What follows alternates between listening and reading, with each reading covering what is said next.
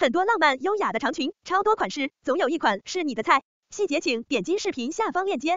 三月二十一日，邓超在微博上更新了自己的动态，晒出了一张自己与陈赫打篮球的照片。两人在一家室内篮球馆馆内，穿着篮球服，坐在地板上背对背，对着镜头开心大笑，看上去心情很好的样子。邓超还给微博配文：陈赫现在两百一十八斤怎么办？文末还艾特了陈赫，小编我说超哥，你这样暴露陈赫小公举的隐私，真的好吗？不过这也从侧面反映出两人的关系是真的铁了。从邓超微博中晒出的照片来，邓超当天穿着一身黑色的篮球服，背心短裤，看上去非常清爽，胳膊小腿也是肌肉满满。不老男神说的就是你，就喜欢看你骄傲的模样。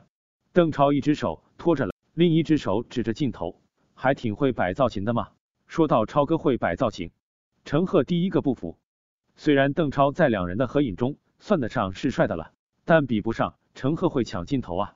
只见陈赫小公举抬起两只粗壮的小腿，将全身力量集中到了臀部，还娇羞的依靠在邓超的背上，心疼超哥一秒钟。陈赫当天穿着蓝色的篮球衣，全身包裹严实，所以说实话。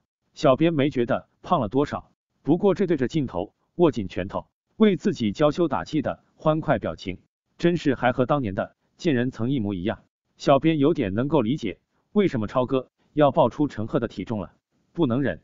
其实看超哥的头像就知道他和陈赫关系匪浅了。自从两人搭档了多期《奔跑吧兄弟》之后，两人的关系可以说是急速升温啊。超哥更是把头像都换成了自己和陈赫。还有鹿晗的合影，不知道孙俪娘娘对此有没有什么想说的呢？除了节目上两人喜欢互损，玩的十分开之外，两人在私下生活中也经常来往。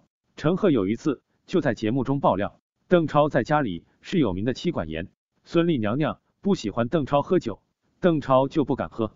有一次陈赫去邓超家，邓超借口招待陈赫，想要拿出一瓶好酒，没想到还是被娘娘拒绝了。